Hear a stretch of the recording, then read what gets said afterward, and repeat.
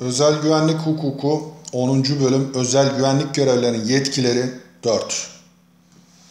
Bu bölümde özel güvenlik görevlisinin silah bulundurma ve taşıma yetkisiyle silah kullanma yetkisi yani silah ilişkin yetkileri, doğal afetlerde yardım görevi ve son olarak özel güvenlik görevlisinin sahip olması gereken yetkiler incelenecektir. Öncelikle diğer yetkilere kıyasla en çok ilgi duyulan ve dikkat çekmekte olan silah ilişkin yetkilerle başlayalım. 5188 sayılı kanunda silahlı olarak görev yapsın ya da yapmasın bütün özel güvenlik görevleri için polis memurlarına aranan niteliklere benzer nitelikler aranmıştır. Devletin genel kolluk örgütünün tabi olduğu sınırlamalara uymak şartıyla silah kullanabilmesi mümkündür.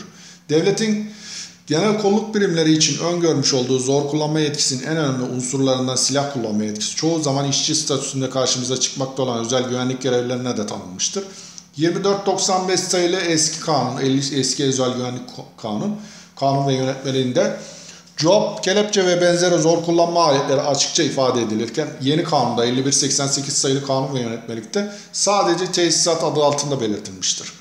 5188 sayılı kanun uygulanmasına ilişkin yönetmelikte özel güvenlik görevlerinin ne biber gazı kullanabileceklerine ne de job ya da kelepçe kullanılmasına ilişkin açık bir düzenleme bulunmadığı görülmektedir. Job, kelepçe ya da biber gazı gibi tesisatların belirlenmesi ve kullanımına özel güvenlik komisyonu karar vermektedir.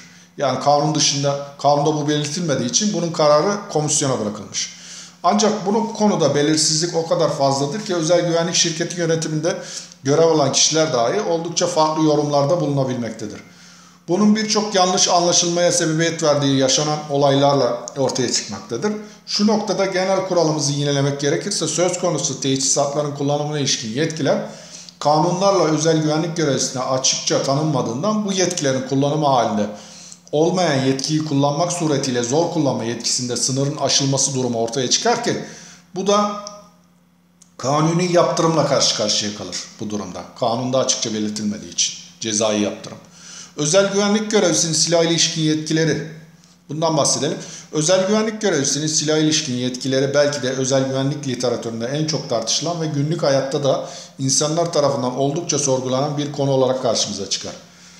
Bu konunun, bu konunun başlığının özel güvenlik görevlisinin silah ilişkin yetkileri şeklinde seçilmesinin sebebi konunun silah bulundurma ve taşıma yetkisi ve silah kullanma yetkisi şeklinde iki boyutunun bulunmasıdır.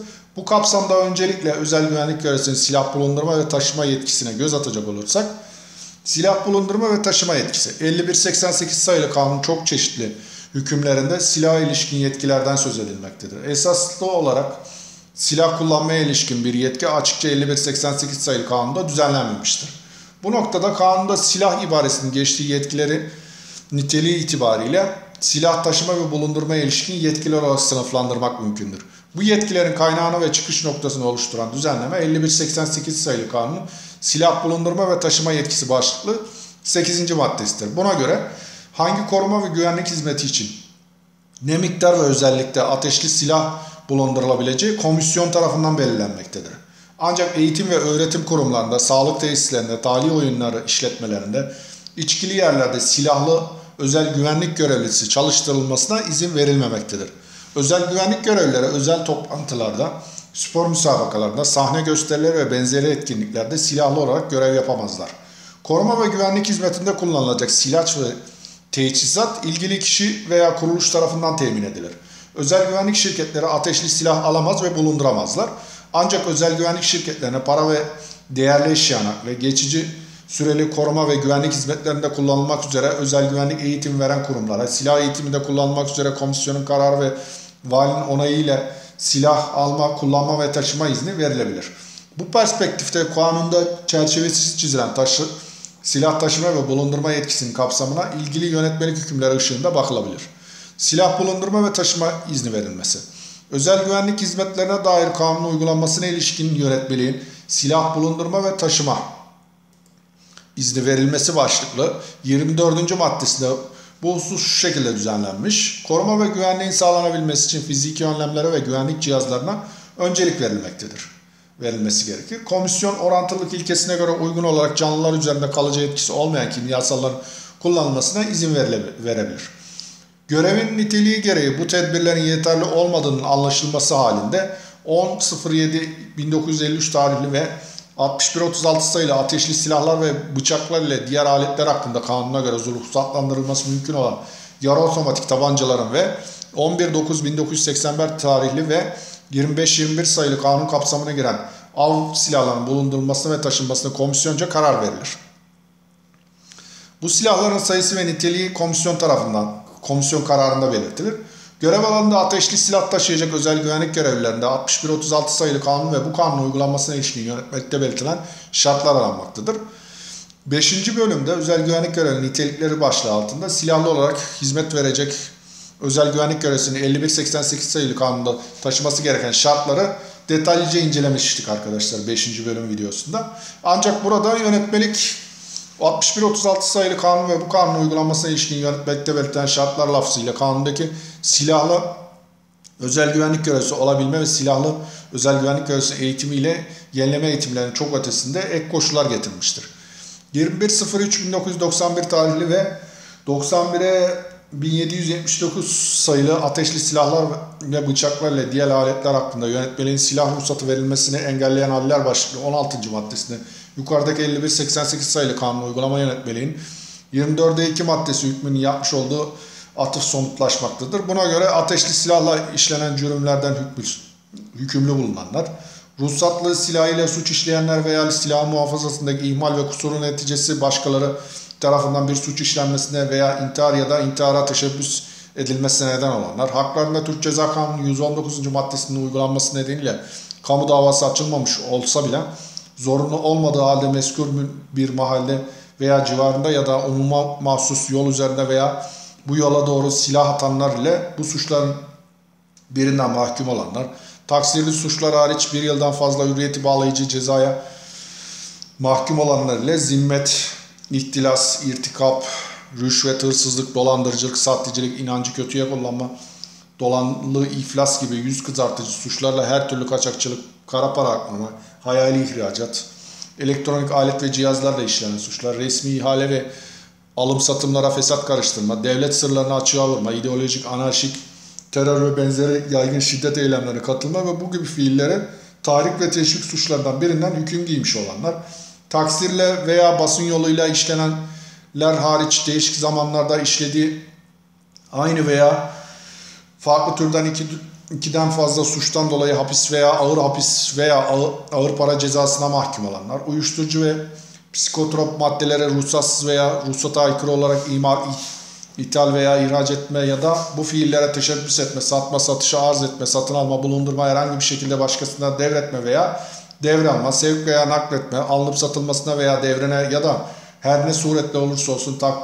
tedarikine vasıta olma suçlarından biriyle mahkum olanlar, ruhsatlı silahını geçici de olsa başkalarına verdikleri için hüküm giyenler, daha sonra kanunun dördüncü maddesinde yazılı silahlardan birini kullanmak suretiyle suç işleyen ve bu suçtan dolayı hapis veya ağır para cezasına mahkum olanlar, daha sonra ruhsatların veriliş nedenleri ortadan kalktığı halde durumu ruhsatı veren makama 6 ay içinde bildirmeyen ruhsat sahipleri, kanunun ek birinci maddesinde belirtilen ateşli silah taşınması, yasak yerlerde silah taşıyanlar, gençlik ve spor genel müdürlüğü demirbaşına kayıtlı silahları amacı dışında kullananlar, mahkeme kararı ile ya da haklarında verilen mahkumiyet kararının sonucu olarak Türk Silahlı Kuvvetleri'nde tart veya ihraç edilenler, rütbesinin geri alınmasına hükmolunanlar ile 926 sayılı Kanunun 50. maddesinin C bendi, 3269 sayılı kanunun 16. maddesinin 3. fıkrası ve 3466 sayılı kanunun 15. maddesi uyarınca disiplinsizlik veya ahlaki durum sebebiyle ayırma işlemine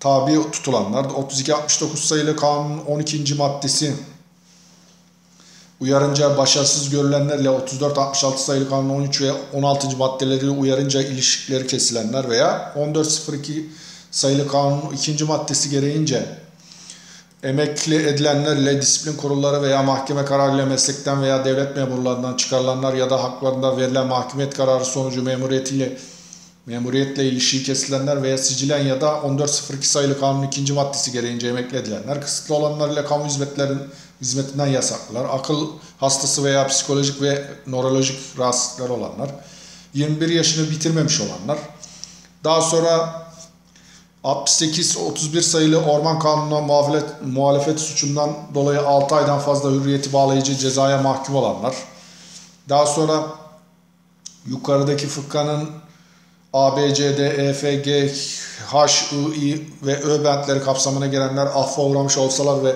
veya mahkumiyetleri bütün neticeleriyle birlikte ortadan kalksa ya da mahkemelerce verilen karar üzerine adli sicilden silinmiş olsa bile kendilerine hiçbir surette ateşli silahla mermilerini taşıma ya da bulundurma izni verilmez.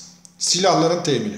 Özel güvenlik hizmetlerine dair kanun uygulanmasına ilişkin yönetmenin silahların temini başlıklı 25. maddesinde bu husus şu şekilde düzenlenmiş. Komisyonun kararı üzerine özel güvenlik izni verilen kişi veya tesise valilikçe ateşli silah alma yetkisi verilir. Ateşli silahlar özel güvenlik birimlerinin fazla silahlarından kamu kurum veya ve kuruluşlarının kuruluşlarının ihtiyaç fazla standart dışı zor alım yoluyla ele geçen silahlarından makine kimya enstitü kurumundan veya genel hükümlere göre temin edilir. Ateşli silahların bunların fişek ve tesisatlarının özel oda, kasa veya demir kuşaklı ve takviye kilitli dolaplardan muhafaza edilmesi sorumludur. Bunların muhafazasına özel güvenlik izni verilen kişi veya kuruluş yetkilileri sorumludur. Kanunun 11. maddesi 5. fıkrasında sayılan şahıslardan kendi adına taşıma ruhsatlı silahı olan özel güvenlik görevli bu silahlarını özel güvenlik hizmetlerinde kullanabilirler. Bunun için koruma ve güvenliği sağlanacak kişi kurum veya kuruluşun komisyona müracaat ederek izin alması gerekir. Bu izin komisyonca verilen personel ve silah kadrosu içerisinde değerlendirilir. Ateşli silahlar için bu yönetmeliğin 27. maddesinde düzenlenen hükümler kendi adına ruhsatlı silahını kullanacak olanlar için de uygulanır. Ancak bu silahlar aynı zamanda özel güvenlik görevlisinin zati silahı da olduğundan görev alanı kıstası ve yönetmeliğin 28. maddesi hükümleri uygulanmaz.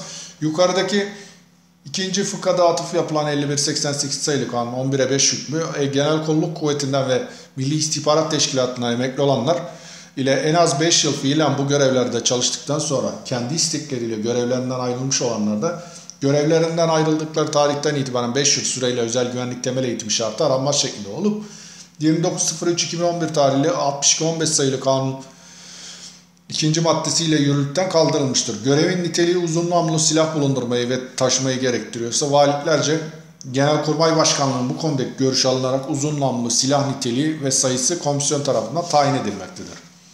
Yine 5188 sayılı kanun uygulanmasına ilişkin yönetmelik madde 26'da sayılmıştır bu. Silahların kaydı. Özel güvenlik hizmetlerine dair kanun uygulanmasına ilişkin yönetmelik silahların kaydı başlıklı 27. maddesinde bu husus şu şekilde düzenlenmiş. Bulundurulmasına ve taşınmasına izin verilen her türlü ateşli silah komisyonca bir örneğe ek 6'da bulunan. Evet bu ek ekler arkadaşlar sayacağımız ekler şeyde özel güvenlik hizmetleri birleştirilmiş genelgesi var ya da bu yönetmeliğe ulaşabilirsiniz. Ya da ben şey yapmıştım. Özel güvenlik mevzuatı adlı bir kitap çalışması yapmıştım. Orada yer alıyor. Ekleri de inceleyebilirsiniz arkadaşlar. Özel güvenlik mevzuatı Erkan Tosun adıyla Google'da aratırsanız ulaşabilirsiniz pdf olarak arkadaşlar.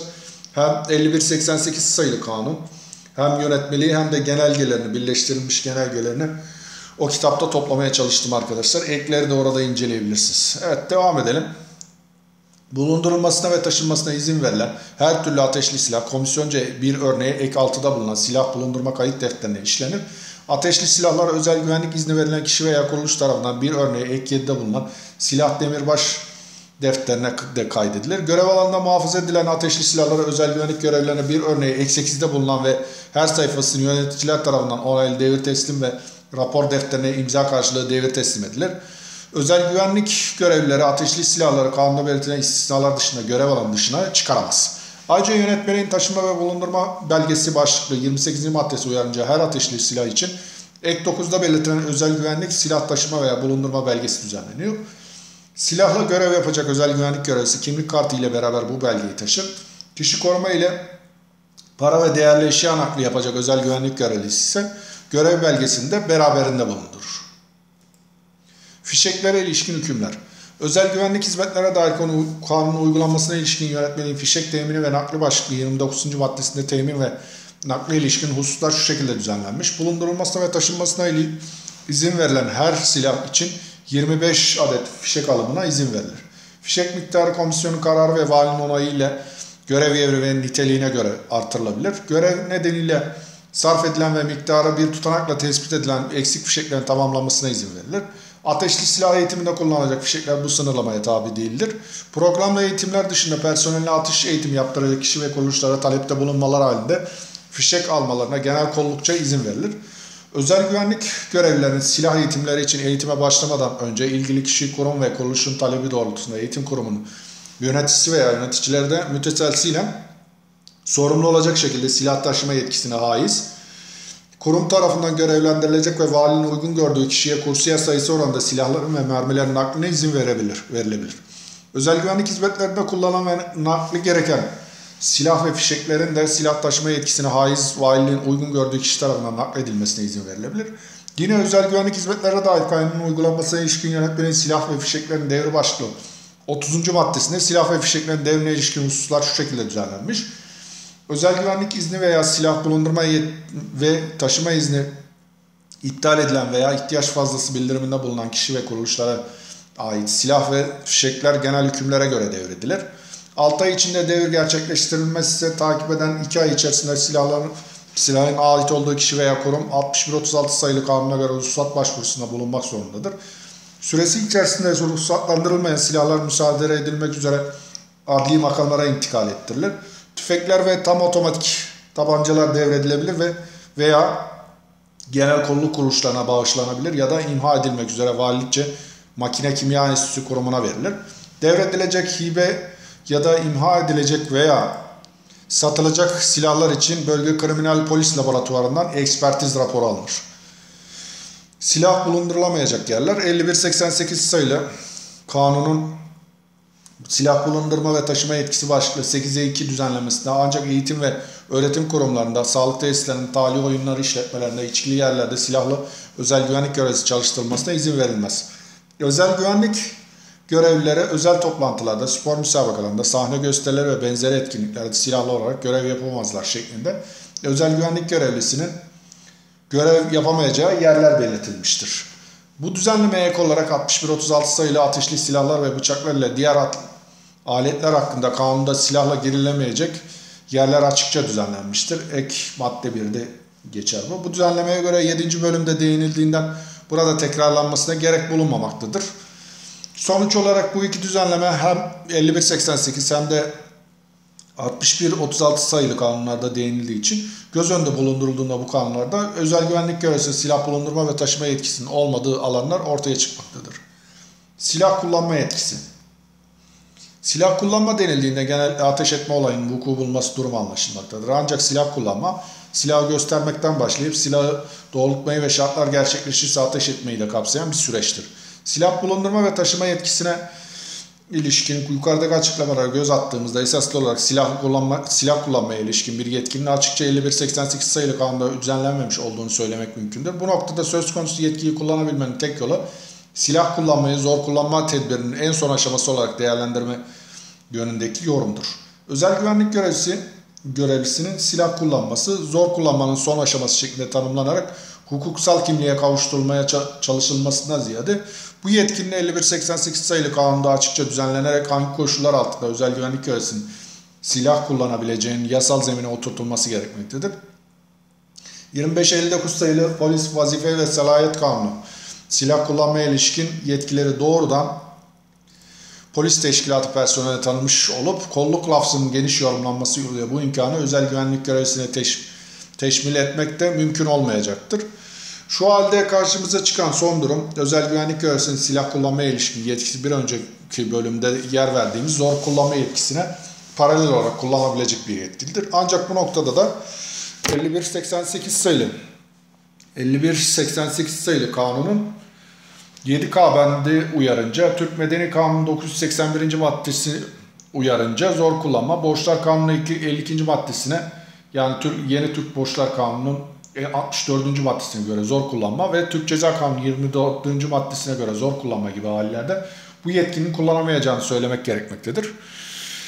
Yani bu yetki zor kullanmanın her hali için değil, yalnızca Türk Ceza Kanunu 25. maddesinde geçen meşru savunma ve zorunluluk halinin varlığı söz konusu olduğunda kullanabilecektir. İkinci bölümde de açıklandığı gibi modern özel güvenlik yasa koyucunun tayin ettiği meşru müdafaya izin verilme politikasının özel bir görünümüdür.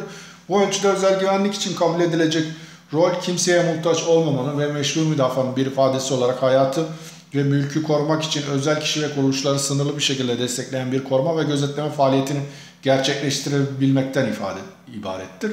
Dolayısıyla silah kullanmaya ilişkin yukarıda değerlen, yukarıdaki değerlendirmemiz özel güvenlik görevlisinin ortaya çıkışındaki temel espriyle de bağdaşmaktadır.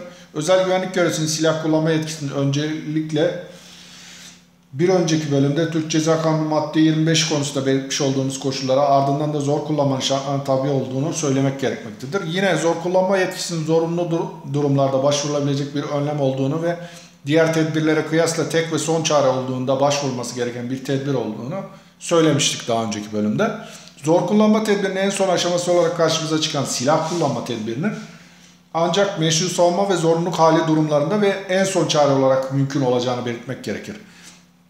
Silah kullanmanın zor kullanma yetkisinin bir görünümü olmasının bir diğer sonucu 5188 sayılı kanunun 9. maddesinde geçen zor kullanma ve yakalama yetkilerinin kullanılmasını gerektiren olaylar en seri vasıtayla genel kolluğa bildirilir. Yetkili genel kolluğa. Lafzı gereği silah kullanmayı gerektiren durumlarda acil olarak genel kolluğun bilgilendirilmesi yükümlüdür. Bu durum hem meşru müdafada sınırın aşılması ve orantısız karşı koymaları engelleyecek hem de suça ilişkin yetkiler özel güvenlik görevlisinden çok daha geniş alan genel olan genel kolluğun suça vaziyet etmesini sağlayacaktır. Özel güvenlik görevlisinin doğal afetlerde yardım görevi.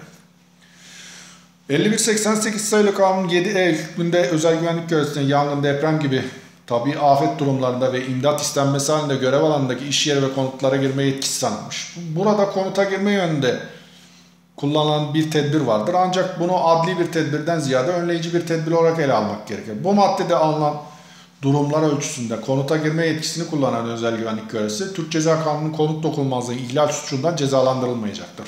Çünkü bu durum hem Türk Ceza Kanunu madde 24 anlamında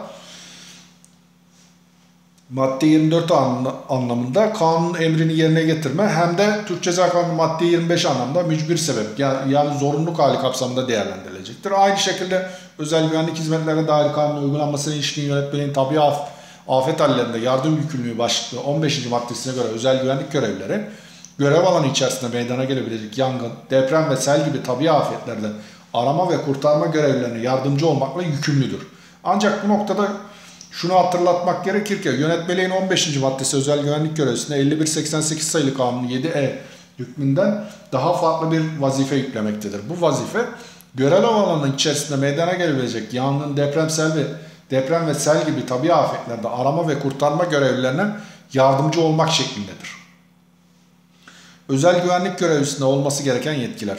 Bu bölümde özel güvenlik görevlisinin mevcut kanundaki temel hak ve özgürlükleri doğrudan sınırlayan kolluk yetkilerini artırmaksızın özel güvenlik görevlisinin görev ve yetkileri arasına eklenebilecek bir takım öneriler ele alınacaktır bu başlık altında. Söz konusu öneriler elbette ki sınırlı olmayıp farklı ihtiyaç olan durumlar için farklı önerilerin de getirebilmesi düşünülebilir.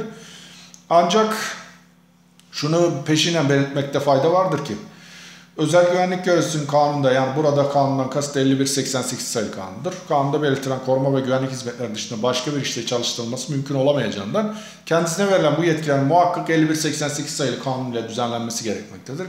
Şimdi söz konusu önerilere bakalım.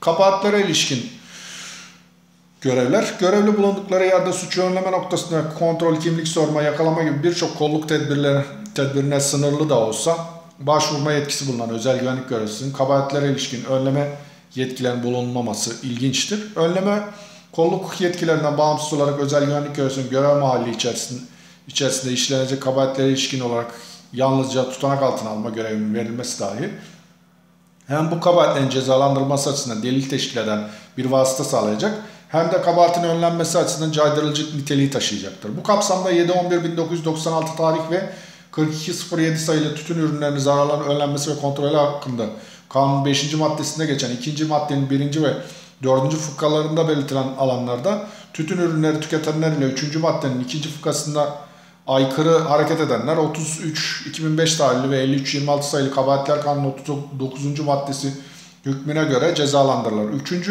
maddenin 11'in 12 fıkrasına kamu hizmet binalarının kapalı ve açık alanlarda aykırı devranan, davranan kişilere ilgili idare birim amirinin yetkili kıldığı kamu görevlileri tarafından özel hukuk kişilerine ait ve herkesin girebileceği binaların kapalı ve açık alanlarıyla sokak veya kamuya ait sair alanlarda aykırı davranan kişilere ise belediye zabıta görevlilerince 50 Türk lirası para cezası verilir. Hükmü uyarınca verilecek cezalar konusunda görev yerindeki özel güvenlik görevlisinin yetkili olması düşünülebilir.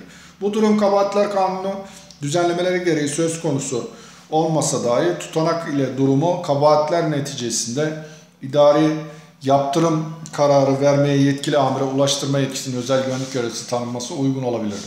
Yine trafiğin düzenlenmesi, denetlenmesi ve kabahatler kanundaki görev yerine özgülenebilen yani genel yetkili kolluğun ya da mahalli kolluğun görev alanına girecek kadar kapsamlı olmayan nitelikli kabahatler için de özel güvenlik görevlisi yetki verilmesi mümkündür.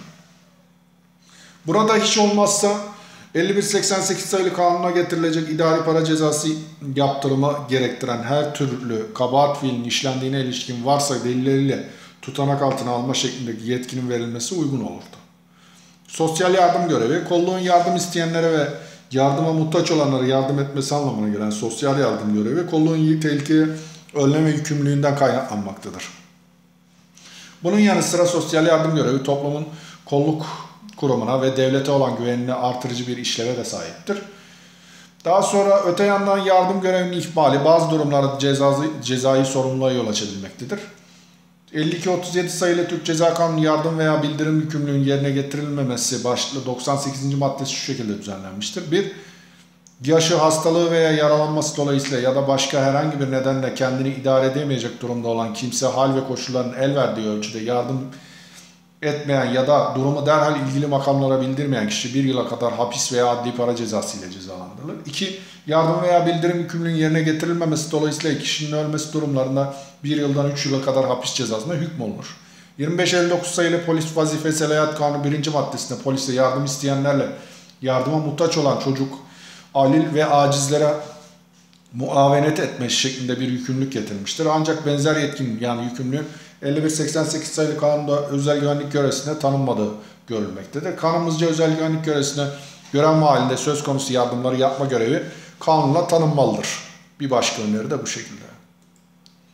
Dedektiflik ülkemizde 2495 sayılı bazı kurum ve kuruluşların korunması ve güvenliklerin sağlanması hakkında kanun yürürlükte iken Türkiye Büyük Millet Meclisi tarafından kabul edilmiş olan 3963 sayılı özel dedektif, dedektiflik kanunu Cumhurbaşkanı'nca veto edildiğinden dolayı resmi gazetede yayınlanamamış ve yürürlük kazanamamıştır. Bu kanun özel dedektif olabilme yeterlilikleriyle özel dedektiflerin görev ve yetkilerini düzenlemekteydi. Şu an ülkemizde birçok özel dedektiflik şirketi bulunmaktadır. Bu şirketlerde çalışan dedektifler genel itibariyle aile uyuşmazlıkları ve boşanma davalarına ilişkin delil toplama sürecinde faaliyet göstermekte. Bu sektöre ilişkin halen bir yasal dayanak bulunmamaktadır. Fakat bulunmamaktadır. Salt kanun bulunmaması bu mesleğin icra edilemeyeceği anlamına gelmemekle birlikte mesleğin suç işlemeye müsait bir meslek olması, özellikle de özel hayatın gizliliğini, ihlal suçlarının önlenmesi ve konuda eğitimli ve izinli kişilerce hizmet temini gibi sebepler bakımından bir an önce özel dedektiflik kanunu çıkması gerekmektedir. Şu an için özel dedektiflik mesleğin yürürlükte bulunan kanunlarımıza muhalefet etmeden uygulandığı sürece yasal olduğunu söyleyebiliriz. Muhalefet etmeden uygulandığı sürece. Aslında iyi denetlenmek suretiyle özel, özel dedektiflere kayıpların bulunması, sanıkların ya da kaçaklarının araştırılması gibi görevlerin verilmesi genel kolluğu iş yükü bakımından da rahatlatabilecektir bu şekilde bir yasal düzenleme olsa.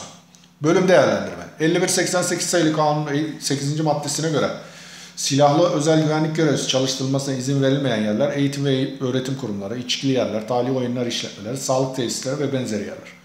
Özel güvenlik hizmetlerine dair kanunun uygulanmasına ilişkin yönetmenin silahların temini başlıklı 25. maddesine göre ateşli silahların ve bunların fişek ve tesisatlarının özel oda, kasa veya demir kuşaklı ve takviye kilitli dolaplardan muhafaza edilmesi gerekmektedir.